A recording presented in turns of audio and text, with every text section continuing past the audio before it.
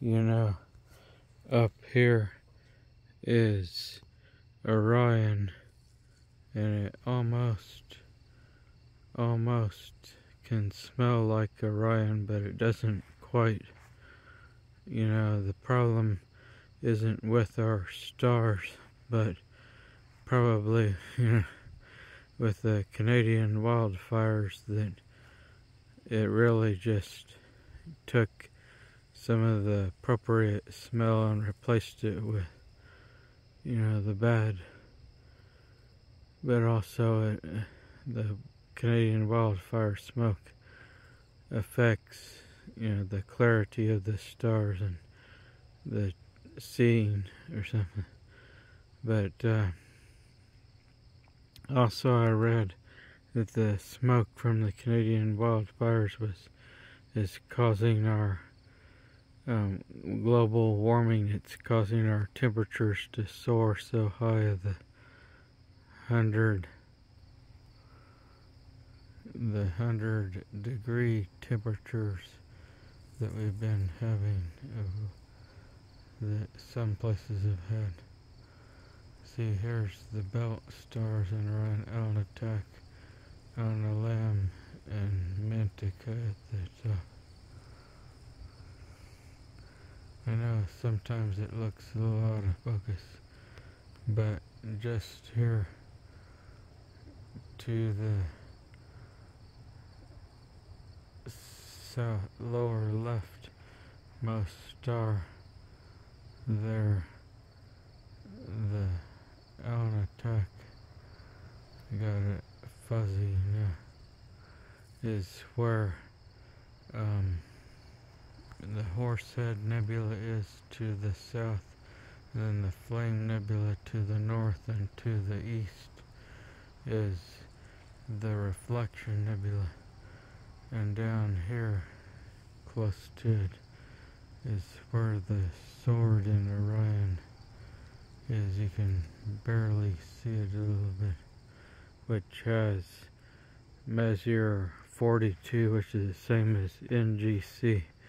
1976 and M43 the running man to the north nebula which is NGC 1977 and then to the north of Orion up there above the shoulders a bit by about 10 or 15 degrees is Messier 1 the crab nebula and then up here somewhere let's see there's Jupiter. And up here you can see the Pleiades. I zoomed in too far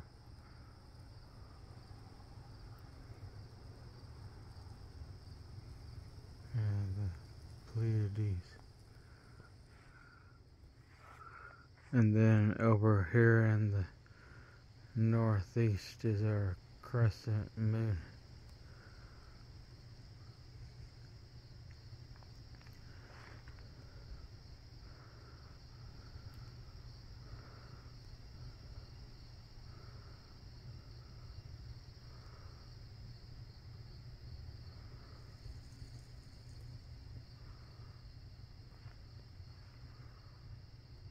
And up this way is Auriga and Capella.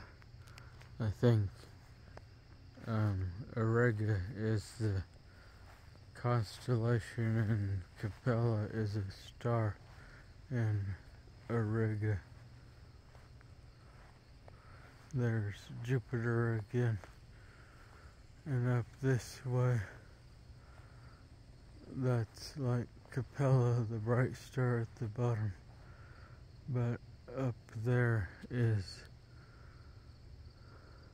um, Perseus, the ones that were the um, this is where all the meteor streaks is coming from in our sky. Then up here is Cassiopeia.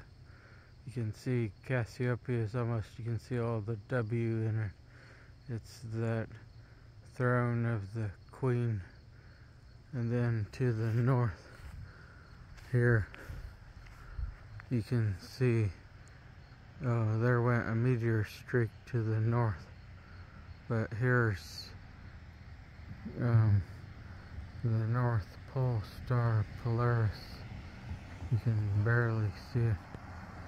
And up here is Kochab, the brighter star of the cup of the Little Dipper, which if you extend them, make the Kochab clock that if you measure off 44 some arc minutes away from Polaris in the direction of Kochab and put a dot there, that's where the true North Pole is and everything else rotates one rev counterclockwise in the north because the eastern horizon at the Earth's equator is rotating one rev per day to the east.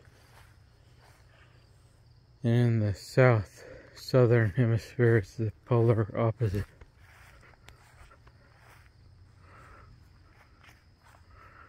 But you can see all our stars of Orion over here. They're shimmering and glittering. This is our eastern horizon.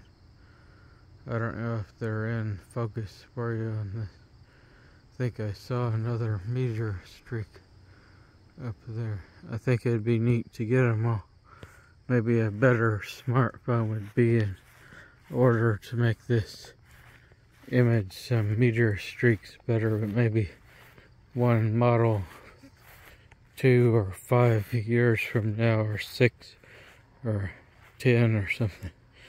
Maybe that's when they'll be able to do it. Well i'll talk to you later. Thank you for watching this. Goodbye. I'll see you later. Bye